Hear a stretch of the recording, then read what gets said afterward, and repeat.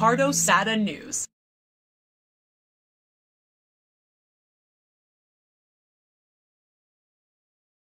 Del, del libro che c'è. Magari ce lo, ce lo andiamo ad analizzare con i, con i capitoli. Bene. No? Tanto Corrado Rizza. Ciao, ma Corrado Rizza, ma poi la, la stesura di un libro Sì. è vicino alla stesura di un brano musicale, no? Beh, più che forse la potrei paragonare più a una compilation. Perché io ne ho fatte tante, questa è una, è una compilation, questa è una compilation di ricordi. Per me, cioè io non sono, non sono uno scrittore, sono uno scrittore in quanto ho firmato questo libro, ma comunque questo è una- un libro di ricordi che chiunque di noi in effetti potrebbe fare nella, nella propria vita, no? Forse devi accumulare un po' di ricordi, quindi nessuno è superiore all'altro perché scrive un libro. È solamente anche un discorso diciamo di età, no? Io ho 55 anni e poi mi sa che potreste essere quasi tutti i miei figli, insomma, presso a poco. Anche tu. Eh. allora, toccheremo diversi, diversi argomenti oggi con, con Corrado. Ehm, ve lo presento brevemente. Disjockey storico, è bella questa, questa ripresa È format. undergra- è underground. Stiamo creando un format. Ehm, DJ storico della- de- di Roma, della scena romana, eh, poi ovviamente si è mosso per il resto dell'Italia e il resto dell'Europa e il resto del- del- de- Della dei vita. continenti e della Della vita. Però insomma quello che, che hai vissuto in una maniera molto intensa è Roma. Sì, sì, sì, anche perché lo diciamo subito, prima i DJ erano molto più, il concetto di resident era molto più forte, prima il disc jockey stava, proprio perché, poi poi entreremo in questo argomento, comunque il proprietario ci teneva molto ad avere un sound, ad avere un DJ, perché affinché il locale potesse essere anche riconoscibile, riconducibile a quel tipo di sound e a quel tipo di DJ. Quindi il DJ era un riferimento molto importante. Eh, Poche guest. Ecco, eh, è cambiato tutto però oggi, no? Cioè, nel senso che si è ribaltato tutto. Mm, discorso che magari prima ci, si faceva anche fatica a trovare dei libri, delle scuole, eh, però magari c'erano i negozi. Cioè, Ora oggi la cultura ora si fa in una, una ora vi maniera, prima si faceva in un'altra. Sì. eh, cos'è che è cambiato in una maniera molto eh, evidente secondo te? Sì, no, voi siete fortunati perché voi amate, amate questo lavoro, anche io sono, sono fortunato, ora vi dico perché, però lo siete anche voi.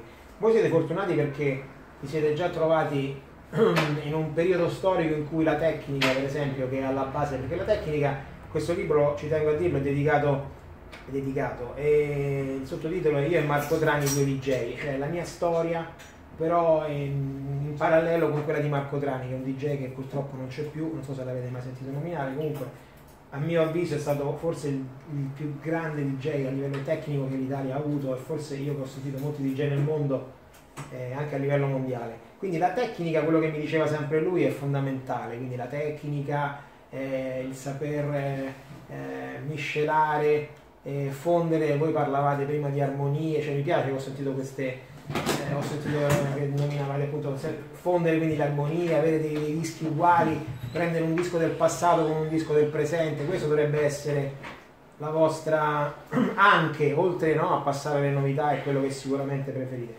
Che stavo dicendo? Ehm, Ah, siete fortunati perché noi quando abbiamo iniziato questo lavoro, ma non perché siamo più fighi, è che abbiamo iniziato questo lavoro alla fine degli anni 70, quando non si conosceva per esempio la tecnica, cioè sembra assurdo oggi, non stiamo parlando di eh, 100 anni fa, stiamo parlando di 40 anni fa, 35 anni fa e noi non sapevamo proprio cioè, come miscelare due dischi. Sì, io sentivo che questo disco mi ricordava quell'altro, ma non avevamo proprio le nozioni basilari, no? contare le famose 8 piuttosto che 16, non ti dico poi il rispetto del periodo musicale, è bello parlare con voi perché voi capite quello che sto dicendo, non lo dico una persona.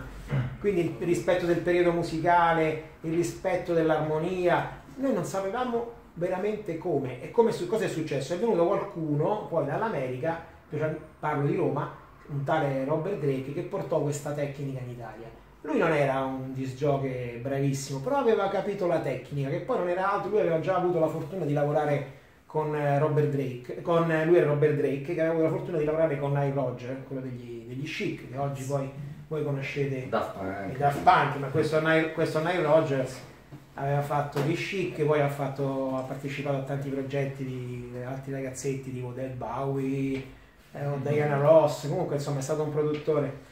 E lui evidentemente dall'America ci ha portato questa tecnica. Noi a Roma siamo stati particolarmente noi, chi prima di me, in questo caso Marco Trani per esempio, è stato uno che ha fatto subito sua questa tecnica e l'ha eh, coniugata col suo gusto e con la sua ricerca. Lui era un amante del funky, per esempio, dove il funky è una musica con la cassa, con la cassa sincopata.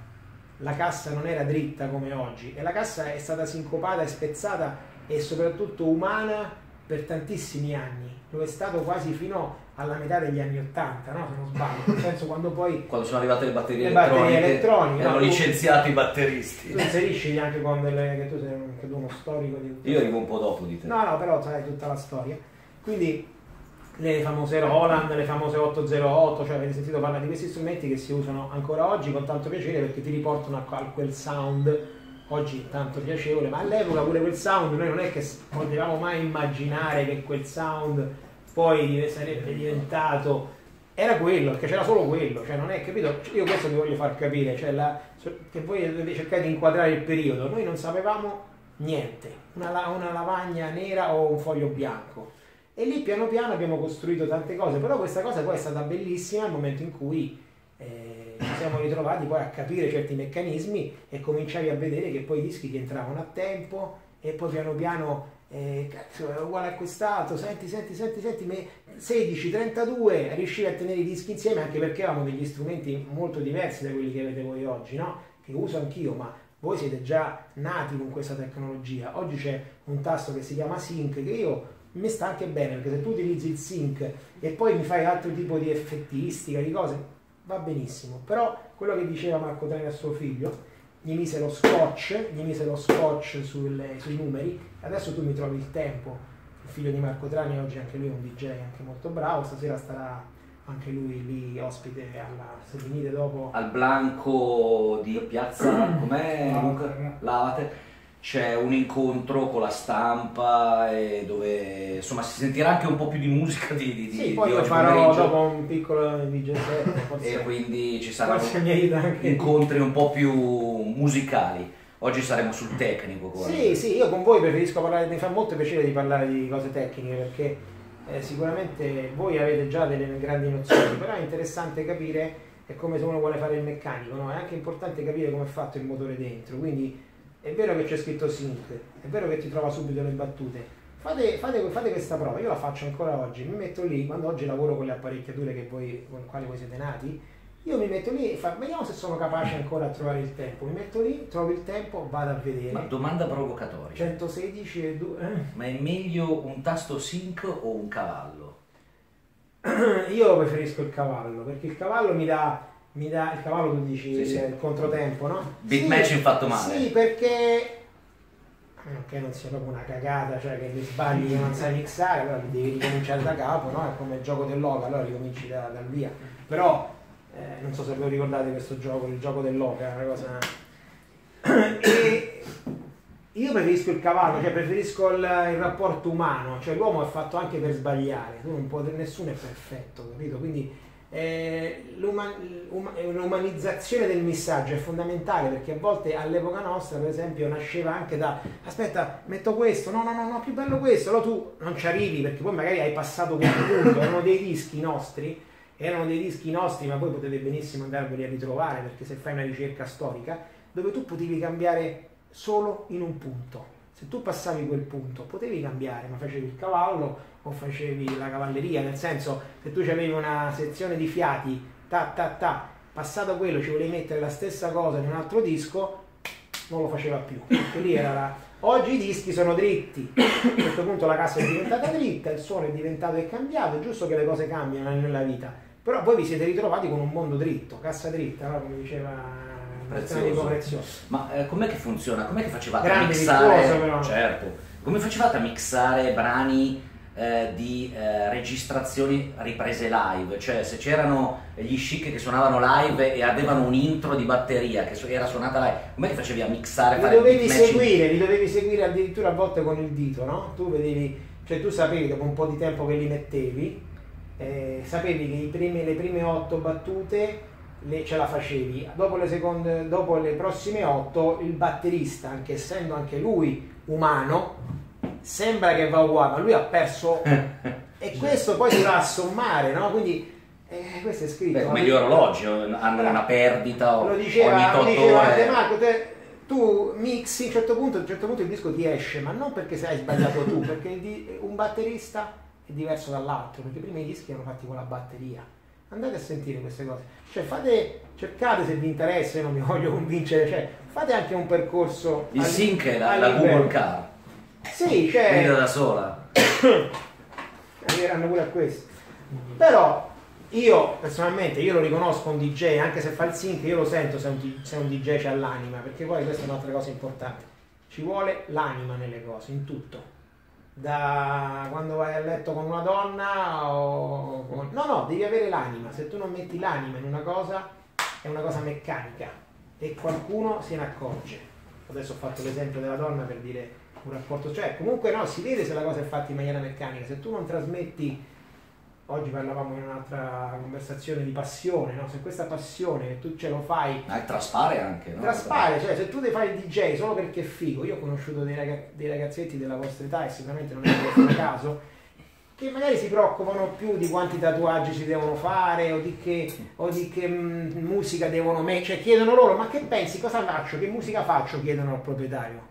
Perché loro dicono qual è la cosa più veloce per raggiungere il prima possibile lo scopo. Questa è la problematica di tanti settori, non solo della musica. Quindi quello che eh, prima sempre stavo con loro, prima che arrivate voi, loro mi dicevano noi stiamo dentro casa, lì a provare, per adesso lavoriamo dentro casa.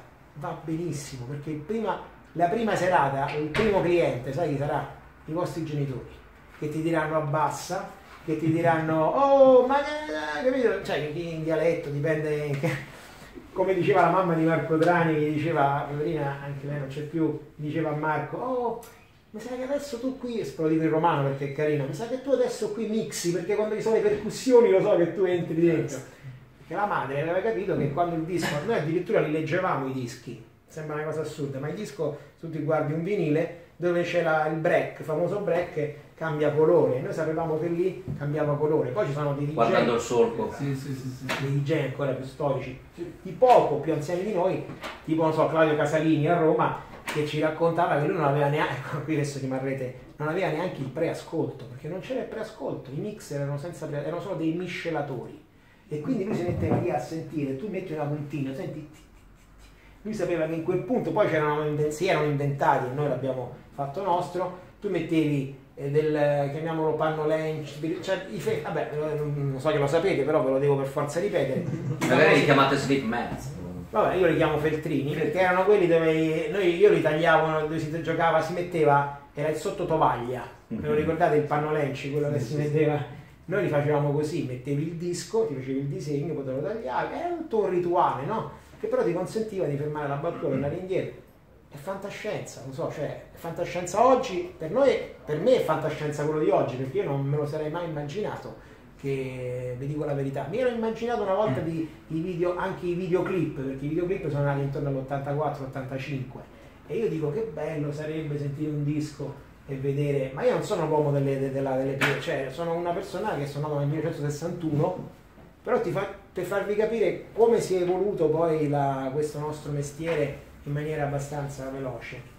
Però mi domando, ma questo diciamo anche oggi, sarà questo sviluppo è stato anche un po' un, un inviluppo perché ha atrofizzato le menti, ha atrofizzato l'entusiasmo e ha rallentato, cioè ha fatto sì che ci siano tante persone che si sono interessate. Io per spiegare alla, mia, alla mamma di un mio amico che lavoro facessi ero veramente imbarazzato, cioè la prima cosa che dicevano, vabbè sei un drogato, cioè sei uno che sta in discoteca, che, che stai lì con l'orecchino, ehm, la notte vai in discoteca, cioè vabbè sei un drogato, quindi insomma mio figlio è meglio che non lo. Cioè, oggi il DJ è presente nelle pubblicità, è presente nei film, io ho un bambino di 10 anni, quindi guardo anche spesso così sfuggita la televisione sua, io vedo che la figura del DJ è sempre presente, cioè oggi la figura del DJ è importante e anche, il- anche la discografia si è reso conto che il DJ può fare finalmente la differenza. Oggi in classifica tu trovi piuttosto dei DJ che degli, dei cantanti famosi e questo sarà un altro motivo. Con gli di- stessi personaggi pop che hanno bisogno dei DJ per darsi una rinfrescata al. Assolutamente al sì, ci sono anche tante situazioni che sono dei bluff, giusto che loro lo sappiano, sono persone che mettono il loro nome e dietro hanno veramente dei musicisti veri, ma oggi si fa, Mm. si usa il, il nome. Io quando ho fatto i dischi, noi quando abbiamo fatto i dischi ci mettavamo, ci nascondavamo perché c'era quell'umiltà no? di dire no, no, non possiamo metterci eh, il nostro nome, mettiamo un gruppo e poi mettiamo magari produced by, remixed by. Oggi forse abbiamo anche un po' sbagliato, con Gino Bianchi, io, Gino Bianchi è un altro mio ex socio, io avevo delle discussioni perché lui invece l'aveva un po' intuita questa cosa. Io, quando abbiamo avuto qualche piccolo successo a livello mondiale, lui diceva perché non mettiamo di più fuori il nome nostro? Io invece lo tenevo calmo perché comunque eh, oggi, oggi tu fai un disco, forse anche i presenti metti subito il tuo nome perché purtroppo poi il tuo nome ti serve per fare serate, perché inneschi una serie di meccanismi. Prima È una costante distribuzione di biglietti da visita. Bravo, prima si poteva campare facendo i dischi, capito? Oggi non è, non è sufficiente, oggi purtroppo devi fare le tante serate, ti devi scontrare con una competizione, ecco, entriamo nel vivo, a volte anche sleale, perché c'è gente che va a lavorare gratis, perché sono magari figli di papà, che lo fanno per hobby, che lo fanno perché fa, fa, fa figo, e sicuramente non è nessuno di non che eh, voglio dico, mettere, fare i conti in tasca poi, però dico voi che state qui e studiate questa cosa mi fa solo che onore, perché siete delle persone che hanno voglia di imparare e non hanno la presunzione di dire no io già so tutto, levati, fammi fare la serata. Io conosco, ho sentito di gente che, che quasi paga per fare serate, perché evidentemente vi si innescano dei meccanismi, che ne so, di fighe, di... non lo so, comunque questa cosa per, per me è veramente... Comunque oggi fa, ancora oggi fa figo fare il DJ, cioè, forse di più del calciatore, no? Sì, sì, sì, perché io vedo calciatori, vedo attori, gente che vuole fare, tutti ora vogliono fare il DJ, cioè non capisco. Allora che o c'era una frustrazione. No, il DJ, il DJ oggi è diventata. Serze Cosmi, l'allenatore. Pure. Sì, sì, ma ce ne sono tanti. Bolt stesso ha fatto di, più volte il, il DJ. La Minetti. Nicola Minetti. No, ma poi c'è magari qualcuno bra- bravo. Io ho sentito suonare il figlio di Sarkozy eh, a San Moritz. Sarà così. Sarà così, sarà così. No, ma dip- dipende sempre. Ma cosa invece ti sei portato tu da Roma al- a Miami? Io adesso vivo a Miami. Cosa ti sei portato di eh, background italiano? Cioè quel valore aggiunto? Sì. Io penso che il valore aggiunto, diciamo anche oggi, noi, noi DJ, noi DJ europei, comunque abbiamo rispetto a loro, abbiamo seguito un mercato doppio e quindi abbiamo fatto una ricerca musicale europea e una ricerca musicale americana, cioè in America negli anni 80 per farvi degli esempi usciva Madonna, usciva Michael Jackson, usciva, usci- stiamo parlando dei primi dischi di questi che poi sono diventati artisti conclamati, il, il Lionel Rich che prima stava con i Commodores diventa solista e fa Night Long, cioè ci sono delle... E loro erano molto protettivi della loro musica, erano molto a cazzi loro, ecco, diciamo. La musica inglese sì, i Beatles, eh, tutta la parte, però la, la la disco, la dance era quella loro, si ballava la musica loro. Noi invece in Europa abbiamo preso molto anche dai Frankie Goes to Hollywood, diciamo oggi Duran Duran, gli Spandau Ballet, che comunque oggi ci potranno pure, eh, non possiamo, magari se uno ci ripensa dice ma sì, un sound particolare, perché attenzione, attenzione, non esisteva l'house. Cioè io ho assistito al parto dell'house quando è nata perché ero a New York nel 1986 mi sono trovato per fortuna anche al Paradise Garage che è stato forse uno dei posti insieme al Warehouse di Chicago dove questa house music attraverso due persone che sono Frankie Knuckles e Larry Levan che purtroppo non ci sono più io ho avuto la fortuna di conoscere Frankie Knuckles non ho conosciuto Larry Levan anche se lui, fu lui che mi lasciò il mio nome ma tramite una persona però vi devo raccontare che per il, fatto delle sette come dice, mi conosci insomma c'eravamo, no? Eravamo lì, ma loro di noi non sapevano niente, cioè anche noi facevamo la musica di qua. Però quello che diciamo sempre oggi, non c'era Facebook, non c'era internet, quindi loro non sanno molto, non- ancora oggi i DJ americani, da poco che loro viaggiano e vengono qui in Italia, in Europa, da poco i Morales, i Vega, sì sì conosco, eh. poi c'è stato qualcuno di noi che è stato un po' più sfurbo e li ha magari ospitati, li ha fatti venire nei club e si è fatto a loro volta poi A volte Ibiza ci ha salvato un po' il no? A livello di Ibiza. Ibiza, sì, perché No, Ibiza è stato un po'... Laboratorio. È stato un trade union tra, tra l'America, soprattutto con gli inglesi, perché anche gli inglesi lì è un altro, è un altro problema. Cioè, gli, inglesi, anche loro erano molto protettivi della loro musica e difficilmente ti facevano entrare loro, nei loro club nel- eh, con, la- con i pezzi tuoi, specialmente a noi italiani che siamo stati famosi, oggi siamo famosi per aver fatto la, la Italo, la Italo disco, la spaghetti disco e io nel mio piccolo, anche qui tu puoi dire anche la tua, noi siamo stati comunque anche tra i primi a produrre la Italo House, no? Cioè, ai tempi di Bortolotti, e la Media, la Media Records, la Time Records, i Black Box, stiamo parlando di... di Vedremo più avanti con altri workshop, incontreremo proprio personaggi che sono stati protagonisti degli anni 80 e degli anni 90 con questo passaggio appunto di Italo Disco, Italo House, Italo Dance. È stato un po' quello che l'Italia personalizzava dell'estero, no? Cioè l'Italo House era la house nostra, Certo. l'Italo Disco era la E disco però tu hai nostra. toccato Ibiza, Ibiza, io per esempio quei piccoli successini che ho già Machine, poi magari documentatevi su quello che ho fatto, tanto oggi non può dire cazzate. Comunque già Machine, eh, Strings on Love, Paradise Orchestra, ho fatto Black Connection, forse la cosa più importante. Sono partite da Ibiza, cioè Ibiza ha capito che noi eravamo bravi, ha cominciato a suonare la musica nostra e poi gli inglesi se la sono presa e siamo entrati anche in classifica, in classifica inglese, che era una cosa all'epoca pazzesca, quando ancora si vendevano i dischi, il vinile e cominciavano a spuntare i CD. Oggi già non ci sono neanche più i CD, quindi ecco, vedete come il, il tempo brucia le- velocemente tutto, no? Quindi probabilmente oggi non, tra poco non ci saranno neanche più gli MP3. Obiettivamente è meglio es- essere nati ehm, in un periodo come il tuo, nella quale in verità eh, c'era questa ignoranza sotto il punto di vista della tecnica, la ricercatezza musicale, la ricercatezza nella tecnica anche di mixaggio, o ehm, sì, comunque ehm, o essere al giorno nostro nel quale ci sono molte tecnologie da sfruttare, però il mercato è un po' più chiuso. Questa è una domanda che ti dovrei fare io a te, perché io la mia, rispo- no, la mia risposta è io che ho provato l'uno e l'altro, sono contento che mi è andata così, perché per- sempre per farti un esempio, faccio dei paralleli- cioè io ho scoperto che da un telefono a gettoni, c'era il gettone, io per telefonare dovevo, capito, dovevo, però era bello, era bello andare a citofonare un amico al citofono, eh. scendi, oggi oh, scendi, cioè neanche chiami al telefonino, cioè prima c'era il fischio, c'erano, andavi a citofonare ai cito, c'era tutta un'altra È, cosa. me- è meno romantico. È meno romantico, Mm. bravo, è tutto Perché noi molto- siamo un po' più anziani, no? No, no, però è bello perché pensate semplicemente una cosa che tu ce l'hai facile, no? Quindi è più una corsa contro il tempo alla fine. Oggi sì.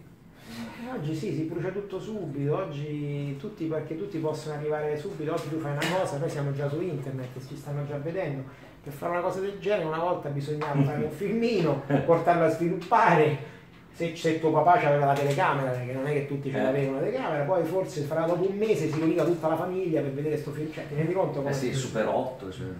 Però non è che adesso voglio dire dobbiamo tornare alle- all'età della pietra, no? Però se tu mi chiedi a me questa cosa, no, no, stavo scherzando, dico, io a me piace così, anzi se io potessi mi sarei andato a riprendere anche un altro pezzettino degli anni 60, cioè mi sarebbe piaciuto vivere certe situazioni eh, proprio musicali degli anni 60, del rock, perché la musica adesso la musica è cambiata, alla- la musica è cambiata dopo il rock and roll degli anni 50 negli anni 60, i primi anni 60 i Beatles hanno cambiato la musica, questo ve lo dico non perché, ma se lo dicono i libri, cioè, hanno cominciato a interpretare la musica in maniera, le, le sette note in maniera pop, mentre prima loro stessi facevano anche rock and roll.